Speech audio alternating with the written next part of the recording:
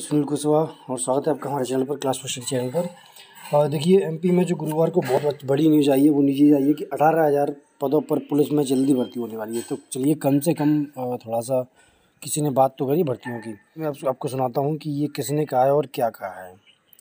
अब यहाँ देखिए मध्य प्रदेश पुलिस विभाग में नौकरी की तलाश कर रहे युवाओं के लिए बड़ी खुशखबरी है।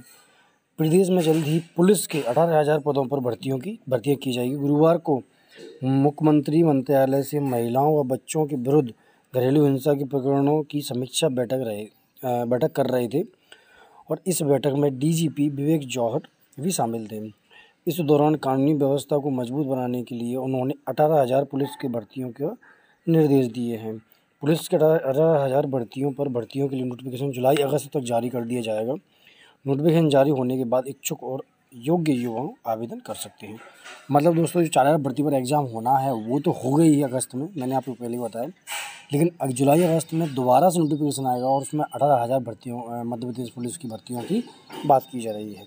दोस्तों, अब इसके पूरी, इसकी जो जितनी भी ये मतलब इम्पोर्टेंट न्यूज़ है, इस खबर को हम थोड़ा सा एनालाइज करेंगे कि इसमें और इसमें क्या क्या चीज़ें हो सकती हैं। इसके लिए दोस्तों नेक्स्ट वीडियो में पूरा रिसर्च करके हम आपको बताएँगे।